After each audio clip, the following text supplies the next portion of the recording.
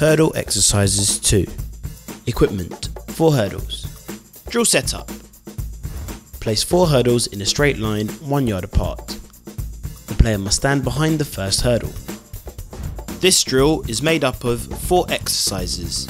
Exercise 1 High knees. The player must do high knees over the hurdles. Then jog backwards to the start. Place one foot in each gap. Keep going for one minute. Give the player a 15 second break in between each exercise. Exercise 2 Sideways high knees. This time the player must do high knees facing sideways. Place both feet in each gap, one after the other.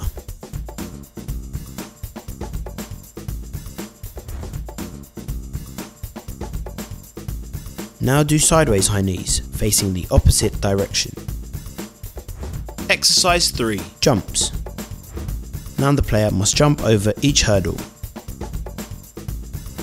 Jump with both feet locked together.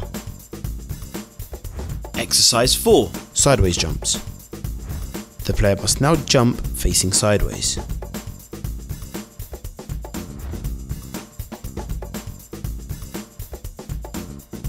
Now do sideways jumps facing the opposite direction. Coaching points. Drive knees up when doing high knees. The player must move on the balls of their feet.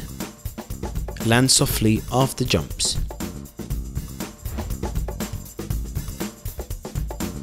Benefits agility, coordination, and footwork.